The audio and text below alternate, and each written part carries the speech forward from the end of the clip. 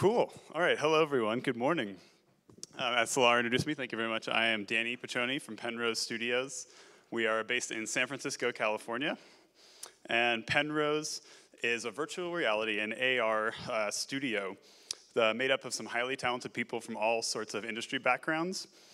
Um, Penrose mission statement is defining the next generation of human storytelling. And we do this by creating experiences which guide viewers through stories um, of exciting new methods and ways connecting the viewer with real human emotions, such as love and loss. And in virtual reality and our stories, sound plays a very big part, uh, as I'm sure most of you already know. So, sound really amplifies presence in virtual reality and is a very key tool that we use for guiding attention and helping to create incredibly immersive VR experiences. Some of our previous projects at Penrose include the, the Rose and I, which originally premiered at the uh, Sundance Film Festival in 2016, and Allumette, which premiered at the Tribeca Film Festival also in 2016. Now, with Allumette, we really wanted to push forward some concepts of how stories could be told in VR. Um, and to give you a little bit more of an understanding, uh, I'd like to play a short video that gives you a nice glimpse into the world that we created for Allumette.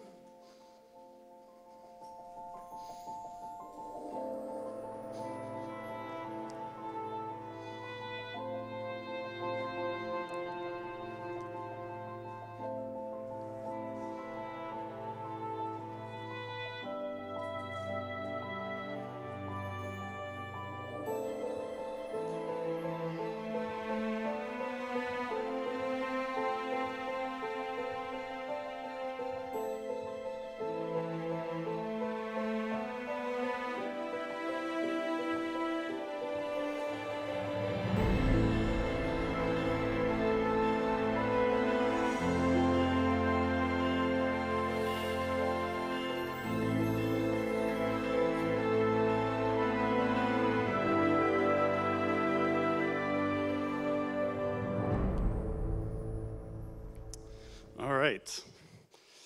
So after Allumette comes our newest feature, Arden's Wake. Um, Arden's Wake, the prologue, uh, which we premiered at the Tribeca Film Festival a few weeks ago. Uh, and we are also showing here at World VR Forum in 2017 and are very excited about. So let me talk to you about a little bit of what it takes to create sound in VR, to integrate, and really what it takes to create a compelling um, sound experience to amplify that presence of VR. So in making sound, VR production techniques require uh, a mix of different mediums from traditional film and TV, from video games, and also some from live theater. And so to give you a little bit more understanding about these, I'll go through some uh, demonstrations that I set up in um, graphs on here. So a simple explanation of film and TV would be the viewer is looking at a screen with two speakers in front of them. And film and TV is done in what we call post production, meaning it's a linear timeline that's decided ahead of time. And in terms of sound design, you have all the time that you want to adjust the sounds to match what's going on on screen. So you can play with the timing, you can play with the volumes, you can play with the amount of sound that's coming out. The most important thing to understand about this is you have full predictability in what sound is actually coming out of these speakers that the viewer is seeing and hearing. Theater moves into the concept of spatialization a bit, which is basically the audio guidance, where people typically want to look in the direction of a sound that they're hearing. It's a very natural human response. If there was a fast or large sound coming from the back of this room right now, I'm sure everyone would instantly turn around to say, What's going on? So, this introduces the concept of spatialization, where you might want to look in a certain direction of where a sound is coming from. And next we go into video games, which gets a little bit more advanced in the way the sound works, in that games use uh, non-linear sound um, triggering methods, where rather than a fixed timeline like in films, you're actually controlling the sound based on the player's movements. such as um, executing moves or going into different areas and interacting with things. So, from a sound design perspective, you don't really know exactly what's going to play when, but you need to prepare the sounds accordingly uh, in case there's a long period of silence or there's a lot of sounds that are happening at once from a lot of actions. So this gets a little bit tricky, but you still want to make sure at all times that the most important sounds in the experience are the ones that will be heard. Next, we further the spatialization sound a bit into 5.1 surround sound. Now, surround is very fun for the user because you're getting sounds that are behind you, next to you, to the left, and to the right that can be moved around, um, which is a very unique experience for someone watching something like film in this case. Um, so, putting these all together a bit, we get the world of VR sound, which now is a full 3D experience. It combines this location based spatialization with um, the combination of sounds playing at once, um, but you now add the element of the user can dictate what sounds they're hearing depending on where they might be in your experience. So, a person can be in, uh, in a spatialized experience, you can be standing here and hear something and then move over maybe to see a different part of the story and you can hear a totally different set of sounds. Now, to dictate this um, in sound design and virtual reality, we use something that's called sound attenuation zones, which in simple terms, it's controlling how far away you can hear certain sound effects playing from. If you want it to be very short, like if it's a character's voice, maybe I only want to hear them when I'm within a couple meters. Or maybe there's a very important sound element in the story that we want the uh, viewer to be able to hear if they're possibly on the other side of the experience. So with this graph that I made, it's, it's a little simple explanation of volume on vertical and then distance horizontal. In this case, there are two attenuation uh, graphs. One is in green, one is in red. The green one would be farther away, so at 150 meters is about the distance that you would hear the last of a certain sound, where in the red graph, 50 meters would be um, the furthest distance. So you use a large combination of these attenuation zones when creating sounds and implementing them in virtual reality. So moving forward with this attenuation zones, they actually play a hand-in-hand role with spatialization, which is what we talked about earlier of location-based sounds. Since you're going to be moving around an experience in real time, you're going to be able to move where the sounds are coming from. If there's something in your experience over here, turning your head directions will leave the sound over here. But at the same time, the further away you get, maybe you're not going to hear it anymore if you're closer or further. So this concept um, is really the fundamental of understanding how we implement sounds in VR and how we control what you are hearing.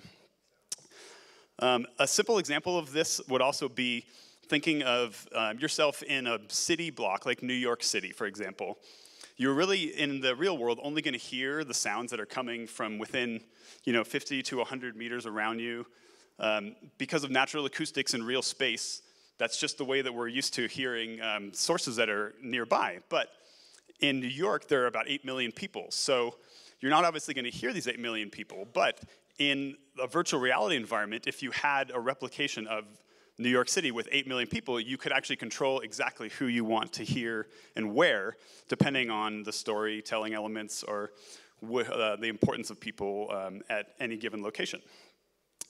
So moving on from these is uh, uh, these features uh, comes to environment sounds, which I feel is a fundamental layer of an authentic virtual reality experience.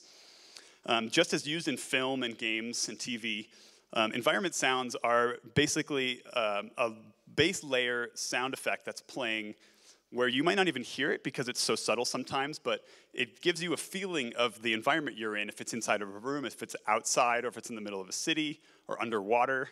Um, so these subtle ambiances, we also call them, um, really play a key role into authentic and immersive virtual reality experience. So let me explain how we do this at Penrose. Um, we've developed a system of placing these uh, environment sounds at four points around the user in our experiences that are 90 degrees separated. So there's one in front of you, to the left, to the right, and behind you. And these completely surround the user in every part of their experience. So what happens with this is when you're starting to move your head in virtual reality, you'll these sounds are spatialized and they're staying at their location. Therefore, you're going to be able to hear this movement when you're panning your ears between these sound sources. So this is actually pretty relevant to what we're used to in real life. But again, it's a very subtle thing that we're just used to as humans um, with hearing, and so it's not extremely noticeable. But to give you a bit of an example, I wanted to play an ambience and have, um, do a little test so you can kind of hear where I'm coming from with this. So I'm going to play an ambience of an ocean with just some waves crashing. Pretty simple. People have heard this before, I'm sure. Let's just listen to this for a few seconds.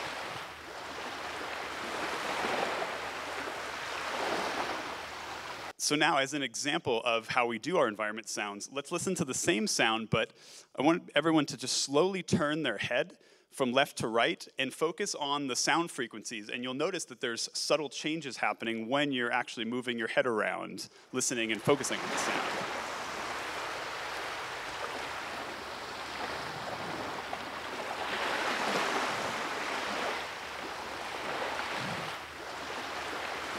So it's it's not very obvious at first, but if you really focus on it, you can hear these frequency changes, which adds to this subtle realism of what we're creating with our environment sounds uh, in virtual reality. As another example of this, in our current film, Arden's Wake, there's some underwater scenes. So creating an underwater environment sound is a, a big part of the convincing element because you have these really rich and thick sound sources that are coming from all around you that really feel like you're completely surrounded by water and other elements that we're using in our storytelling.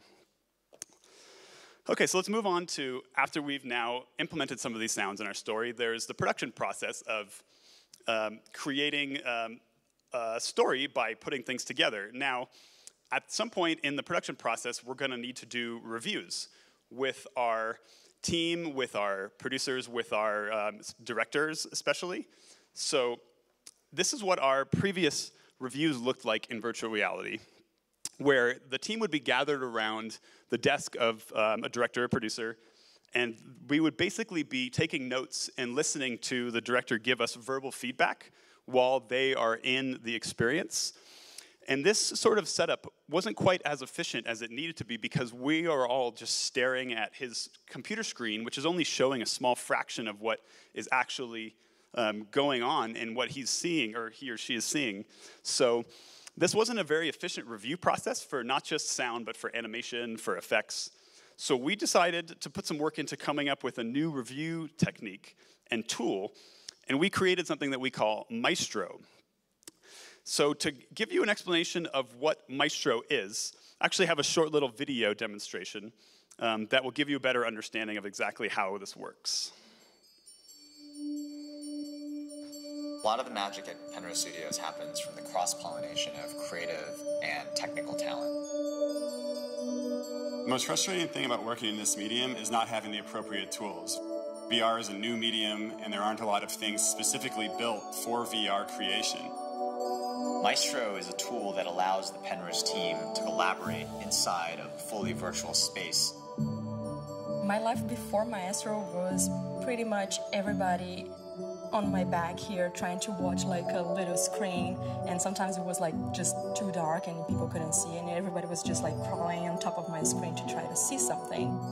Building Maestro was a really interesting experience. It was truly the synthesis of working with both the creative and engineering teams really, really effectively. As we were doing reviews in VR with the whole team in there, we would come up with new features and then test it out the next day. Using the Penrose tool suite is my lifesaver. I don't think I would have been able to do any of the sequences without them.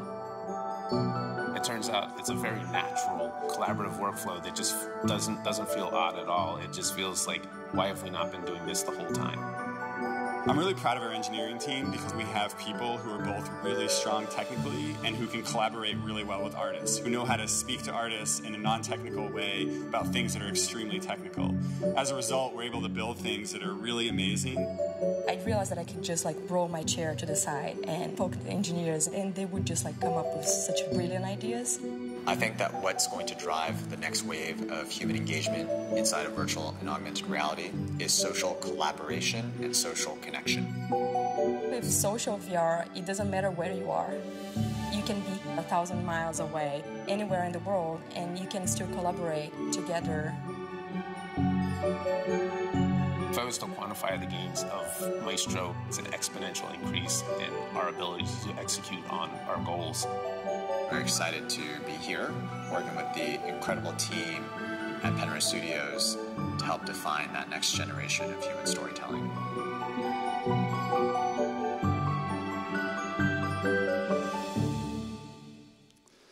So you can see that having a tool of this nature is just such a valuable resource for so many different departments, not just for me and sound, but for the animators, for the engineers, for the effects designers. Um, people can get into this space in real time and review our films and just have instant feedback and get to share this um, experience in real time. So it really makes for such a wonderful experience, as well as for me being a sound engineer, um, I work in studios sometimes where I'm remote, and we can access Maestro from anywhere and share our space for reviews, which is a completely invaluable tool. So, um, okay, just wanted to, um, yeah, I got to wrap it up. So, thank you very much um, for the opportunity to speak. I hope you guys uh, learned a little bit about the world of sound design and virtual reality. Um, and I hope you enjoy the rest of your experience at World VR Forum. And thanks again.